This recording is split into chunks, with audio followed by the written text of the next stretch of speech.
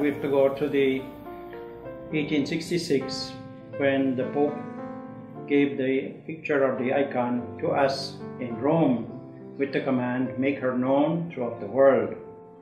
Then when the first Redemptress came in 1906, they brought the icon, or as it was called then, picture of our Mother of Perpetual Help. Now, you have to move from 1906 to 1946. But everywhere we went in the missions, there was always a part about the Mother of Perpetual Help. And in Iloilo at that time, before the novena started, there was confraternity of our Mother of Perpetual Help, or as it was called then, Mother of Perpetual Succor. And this was association of people with devotion to the Mother of Perpetual Help. Then, because of the war years and the bombing, Americans were involved, as you know from your history. And uh, so when these American soldiers came, there were some of them were from Boston, they asked Father Nolte and Father O'Connor, who were the two left, why not start the novena? But they were a bit reluctant because they hadn't heard about it. In April of 1946, they went to the Archbishop and asked could they start the novena. So he gave approval. So they started the novena on May 13, 1946, in this church here that you have seen. And according to the reports, there was only 70 people present. I have tried to find out what time that novena was at, but it, I'm not able to pinpoint, but I presume it would be somewhere at 5 o'clock. In those times, of course, there was no afternoon masses. All masses were said in the morning. So in the afternoon, it was a devotion. So they had the novena followed by benediction. The earlier version of the novena, as far as I can recall, both from Iloilo and Cebu, it was novena prayers and benediction of Blessed Sacrament. Then they had this, they said this was all in English.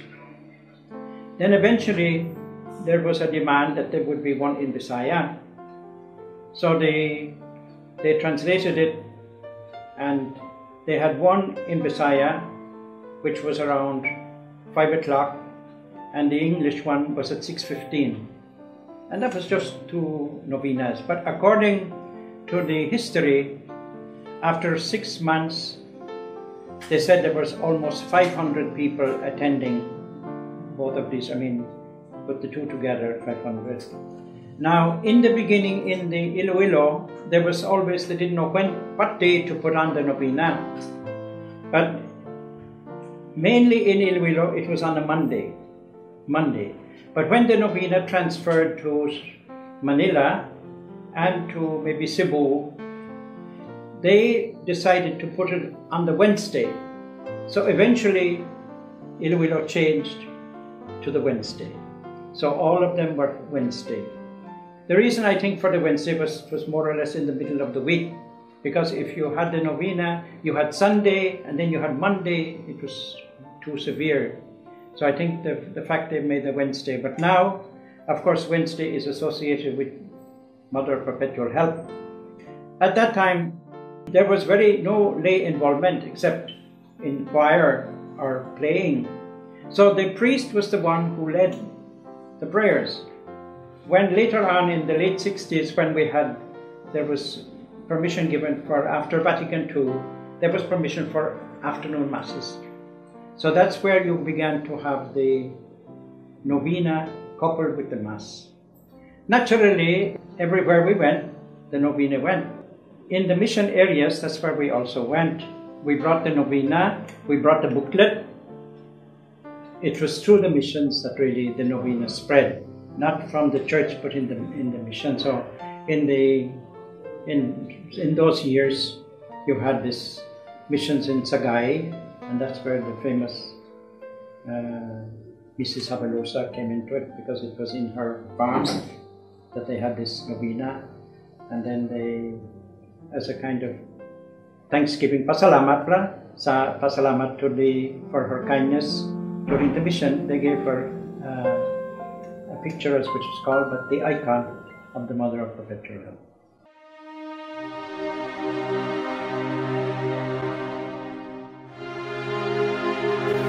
Kasunod po sang nag-abot ang mga Redemptorist priest sa amon sa baryo. Siya na ang nagbaton.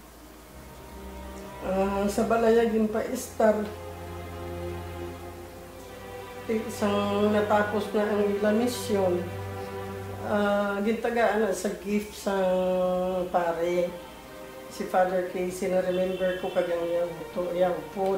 In fact, tagaan na siya sa icon sa Our Lady of Perpetual Health. Gin nag-sign gani gid daw gin butangan nila dedication. Di Gin treasure ya gid na nga gift sa iya. In fact, ang ina nga image ara gid na sa center sa iya altar. Sang nagpaulit na kami di sa Bacolod, nag-transfer kami di sa Bacolod, gindala niya mga ara na gyapon sa center sa iyang uh, altar. Huwag gina niya ginaano. Gara sa Redemptorist nagasimba, kag halos tanan-tanan yung mga pari sa Redemptorist kilala yagid. Iyagid na na mga migon niya. In fact, ang collector sa Redemptorist, yung tagaan niya ng uniform, kay siling niya every Wednesday kung naga-novena, uh, maayo gid niya naka-blue ang ilabayo. If I say Mass of the Family, I would say that the great inspiration I, I have as a priest now, even up to now, was the uh, witnessing of Night Patrick and her love for her family, and her love for the church, and in her love for the people of God. In her devotion no, to the Blessed Virgin Mary, especially to the Our Mother of Perpetual Help. Because I would always uh, see her daily, actually, no? also going to church, whatever- wherever it is, no? Because their house was also near to the Redemptorist Church in Bacolod, I would always see na, uh, that she was always there, no? With her chaperons and everyone who would come with her. And even if he, she would uh, do that, no, there's no miss, no? Uh, actually, in what she did, no? She was very faithful, actually, in her devotion, no? Especially in going to Mass every day.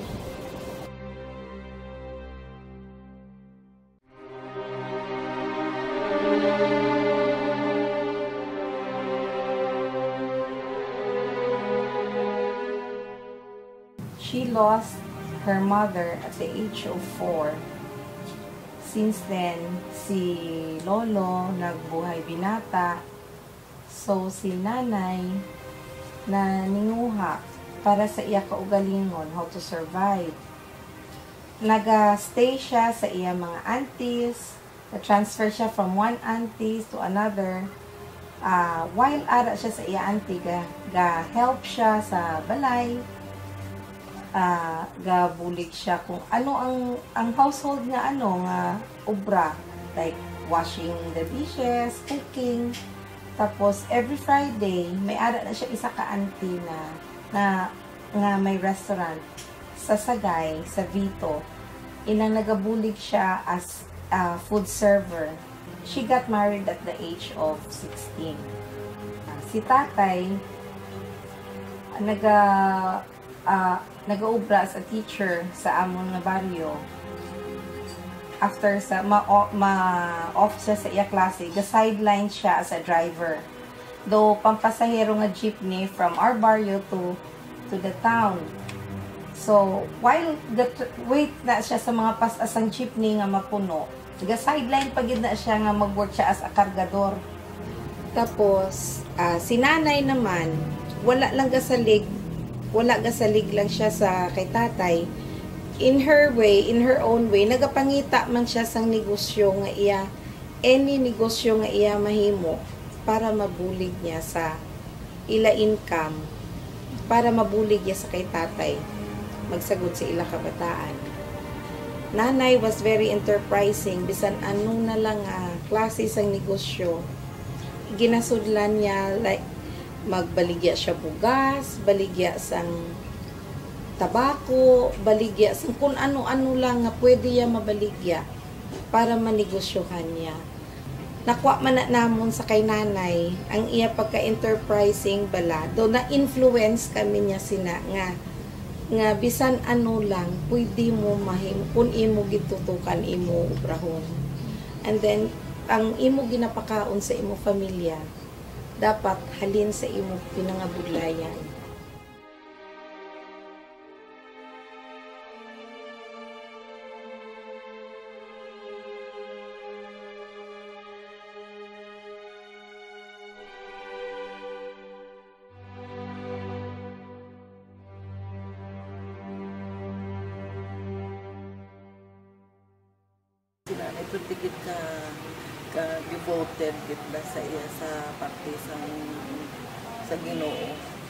Kay ina siya do wala siya bladalangpan nga nga kabulig siya kundi ka Diyos ng tiktanan sigda yung ang belief na guro mas mas bisang body nga nagabulig kina sa all the time.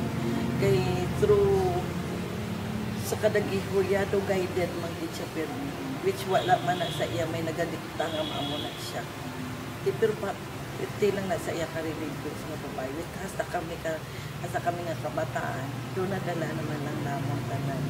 Kasi halos ang gagmay pa kami diyan na kami na lang ginadala kung di, di sa simbahan maski amon mga kabataan himuon niya na mga assets sa, sa, sa church. Si nanay isa na siya ka modelo sa akon pagtuo.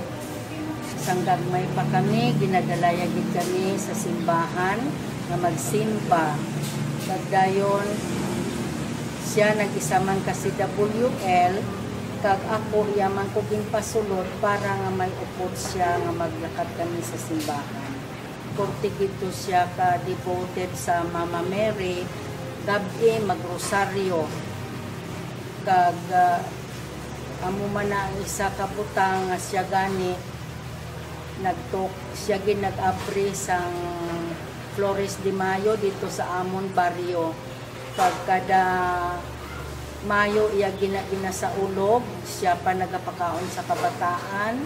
Siya man kung kaisa nagahimo na siya sa mga uniform nga mga angel angel para lang gid nga daw nami man magprosesyon Gani sa subong nga wala na si nanay, amon man gihapon ginapadayon ang iya mga helikoton labi na gid sa mag Flores de Mayo. Amon man ginahatagan subong ang mga kabataan school supplies, mga bags, ang ah, mga papel, lapis kag agud to para man nga mag-eskwela sila may ara na sila nga jutay nga bulig halin man sa kay nanay. Gagmay pa kami. Inadala niya gid kami na father sa simbahan. Na-train niya gid kami how to pray. The rosary kay siling niya kinahanglanon gid. Kung mag-flores na siya, hindi na pa-participate na gid kami. Including ang iya mga apos. Tapos nag-form na siya sang barangay sang Birhen. Every night, kina-transfer namin ang image from one place to another. Siya gina nag-lead sa prosesyon. Nagaupod man na kami sa iya. si nanay, very religious. Kaya nga, ah, kapin pa nga, inang intrahan niya na tanan nga mga inang organisasyon. Kasi pareho sa CWL. Ti, inang CWL, every month may meeting sila. Ti, pagkatapos, inang ituon niya gina ang iaturno siya birthday. Ti preparar gid siya. Di mas hinintay sana mapreparar ta pagkaunon ta ni mga CWN nay muhatag na lang blata kwarta sa pari. Kay pabudlay man ang luto-luto. Nya hindi ah. Maluto ng tabala kay mapakaunon ta gid na sila Dusunti manghapot ko mga pinggan mga ano sa simbahan. Si nanay din ano na one very ano gid sa kay Mama Mary. Na bisan mabudlay sa amon magsunod. Na na-realize namon na gali husto gid ang pagtudlo ni nanay sa amon. Nga sa subong gina ging sunod gid namon ang iya ging tudlo sa amon kapin pa mag ang devotion namon kay Mama Mary. Na amo ginaging kwa namo. Kag ang iya Flores di Mayo hasta subong amon gid wala na namon kay untat kami na subong ang nag-take over sa iya obra hasta sa mga bata. Kay laing gid kali kung malapit ka kay Mama Mary. Kay damo gid ang nahatag nga mga nga mga blessing sa amon Si nanay, nagdako nga wala sa isa ka iloy. Wala siya may nakita nga example nga iya sundon. Pero tungod sang iya faith, tungod sang iya pagsalig sa Dios kay Mama Mary, inang napadako ya kami, na nadala ya kami sa maayo, na influence ya kami sa amon religious life. Very close gid ang amon nga kwan sa sa church through sa iya pangamuyo kay mabatian ko na kung kaisa in one of our prayers nga ma-mention na siya Mama Mary tudloi ko kung paano maging isa ka iloy sa akong kabataan kung paano ko sila padakuon base sa inyo sa sa pagbuot sa Ginoo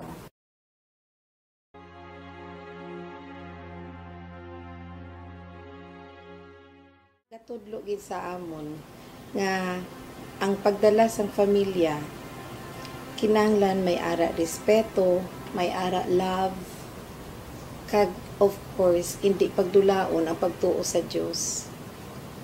Sa tanan nga tiyempo ang inyo nga paghirupay ang ang closeness nyo updan nyo gid sang pagpangamuyo ang ang amo man ang akon experience sa akon ginikanon kung paano nila kami ginpadako paano sila nag nagtinguha para nga mapadako because we are eight in the family.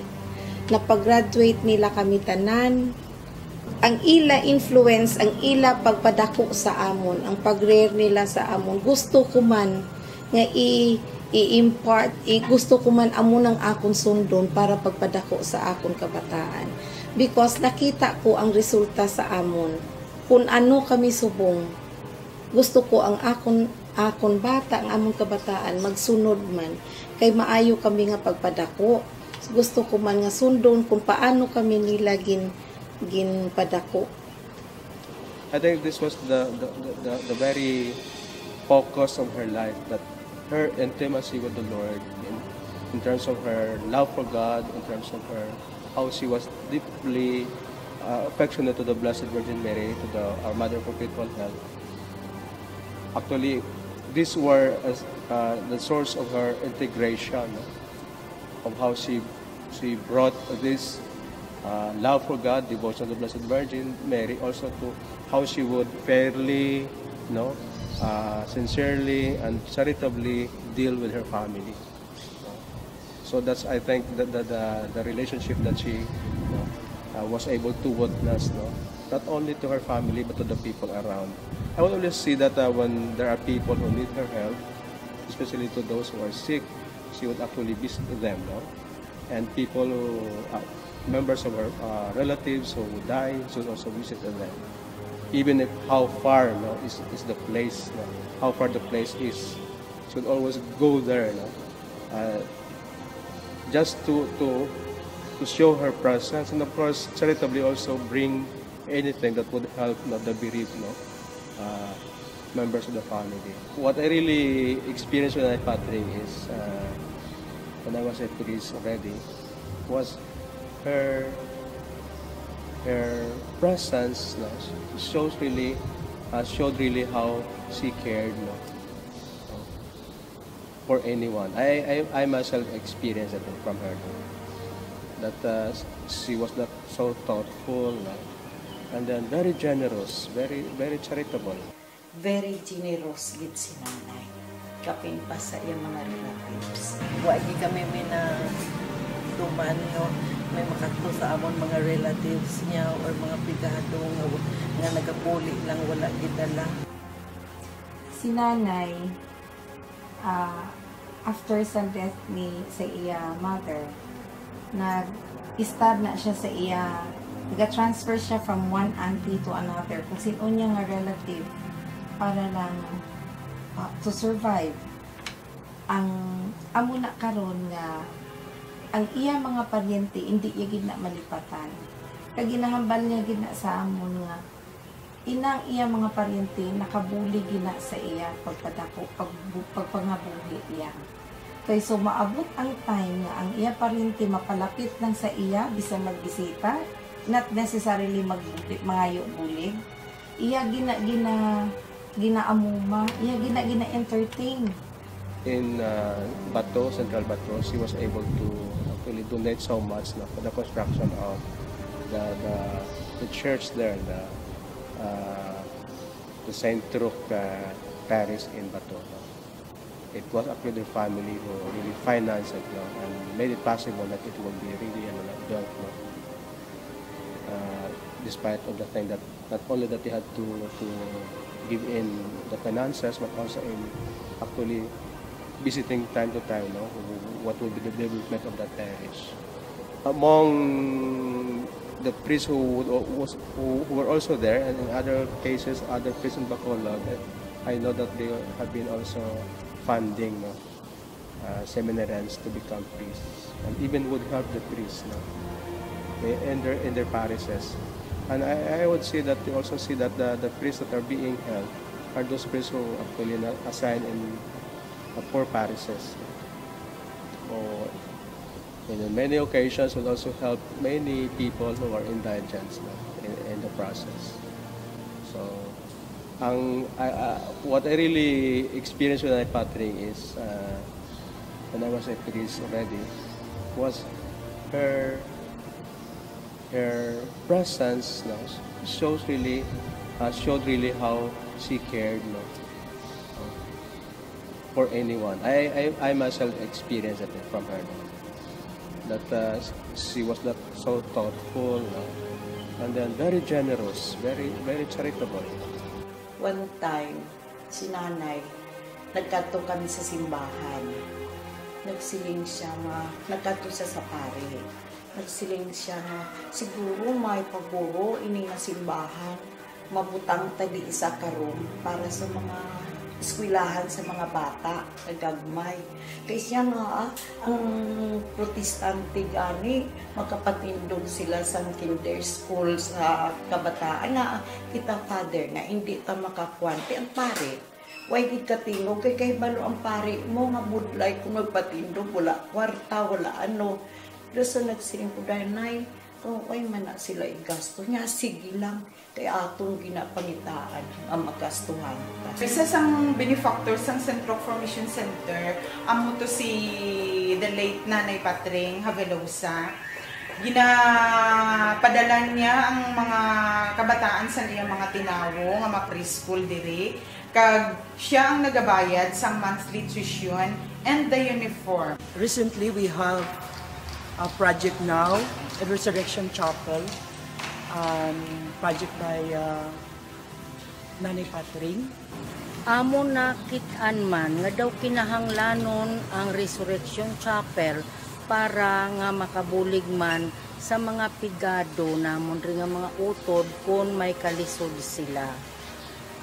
Initani siya nga project ginkuha ini sa mga donasyon sang pagsilibrar namon sang akon bana sang amon golden wedding anniversary akong ginsiling nga imbis sang regalo donation na lang para makapatindog kami sang Resurrection Chapel. So amo na ni karon ang ginahimo diri namon sa amon barangay para nga ang mga tawo man may butangan sila nga maayo man nga lugar kung may ara sila sa ila kalisod. So we're very thankful for this uh, beautiful, beautiful uh, project of Nanay